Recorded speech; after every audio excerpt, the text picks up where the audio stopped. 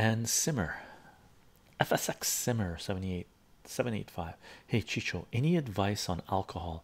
I had a blackout the other night and can't remember getting home. Thanks. Uh stop drinking. Stop drinking. Okay. Uh simmer.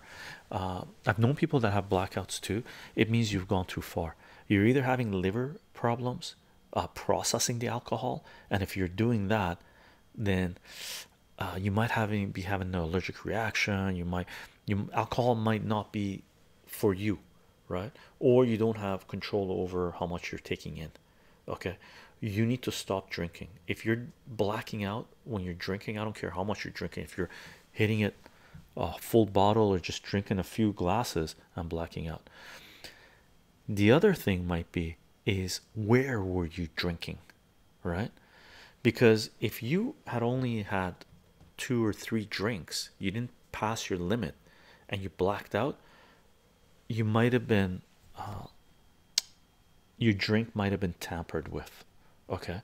So look into recent news of uh, is it roofie is it called roofie it's called something else as well. Um, oh i forget. There's another word for it as well right i was about 10 drinks in. Were they singles or doubles? Right?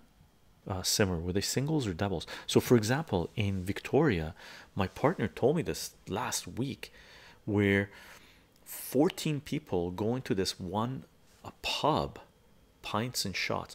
It, how fast did you drink them okay simmer.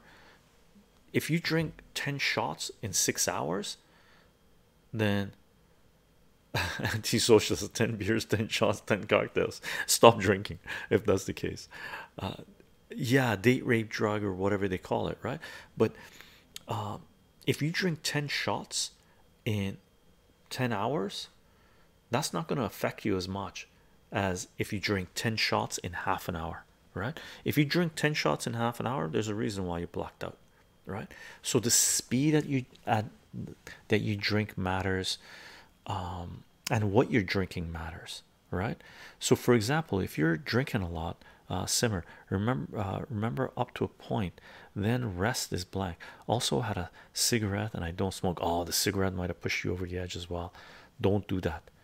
If you've never smoked cigarettes and if you're really drunk you smoke cigarettes the odds are you're not feeling it. You're inhaling deep.